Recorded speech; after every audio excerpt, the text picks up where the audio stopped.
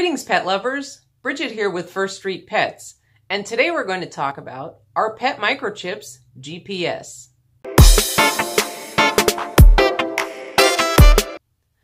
I've talked a lot about microchipping on this channel because I was around back in the 90s when it first came out for pets, and we just thought it was the holy grail. No pet would ever get lost again. Well, unfortunately now, almost 30 years later, it hasn't quite worked out that way. Although it is a great tool for getting lost pets back home, it's not a perfect system. One of the issues is that should your dog or cat become lost, someone has to find them in order to access that chip. They have to be found and taken to a better shelter and scanned before you even know what that chip number is. But what if you don't know where your pet is? What if you can't find them and neither can anyone else? How can they get back home? Is there a way to remotely locate them? And that leads to the next logical question, which many people ask. Can a pet microchip contain GPS? Unfortunately, the short answer is no. But don't click away just yet. Let's talk about this a little bit. Let's talk about why and what the possibilities are. Now we have GPS in all sorts of small devices. We have it in the navigation devices in our vehicles. We have devices that we can take hiking that'll help us find our way around in the woods. We have it on our phones. We can use it to navigate while we're driving or to locate a lost phone. So why can't we use it to find a lost pet? The most important consideration here is the power source. GPS requires power. Your phone, your devices for your car or for hiking, they all have batteries that need to be recharged. Now, today's phones and devices are longer lasting with the batteries, but they still need to be plugged in every night or at least every couple of days, especially if you're using battery draining apps like navigation.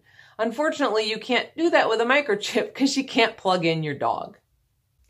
Another factor is the signal given off by a microchip. It is a radio frequency signal known as a passive transponder. What that means is that it's only giving off a signal when paired with the scanner. It isn't constantly giving off any kind of a signal by itself.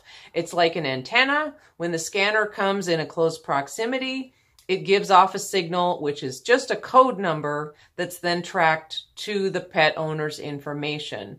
It does not have the ability to give out a consistent signal as a GPS device does in order to connect with the global positioning satellites, which are the way that you find the location of your car, your phone, or anything else with GPS on it. Since a microchip doesn't give off any signal like that, it can't be used for location. So the next logical question is if it's not possible today, is it possible in the future? And I guess the answer is maybe. We have limitations today that we may not have in the future. With the primary concern being the size of devices and the power source, the ability to give off the signal, the first consideration would be in the future, will we have some kind of a power source that's unknown to us today, or perhaps that exists but isn't produced commercially or isn't something affordable enough for everyone to have? That would be the number one consideration. Could some kind of a battery be miniaturized enough to be implanted like a microchip, which is no bigger than a grain of rice, and could it last for years? Now, I tried to think of something like that, and I thought of the human pacemaker, which is implanted surgically inside of a person's chest. It does have batteries, and according to my research, they can last for five or more years at a time.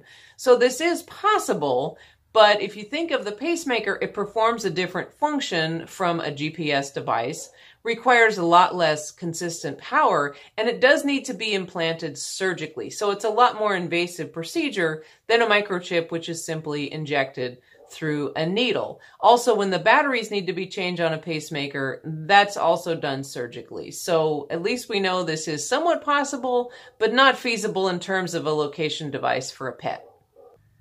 Good news though, there are some GPS devices currently available on the market for pets, and apparently they work pretty well. I've talked to some friends who use them and they've given them good reviews. I will link them in the description below so you can check them out for yourself.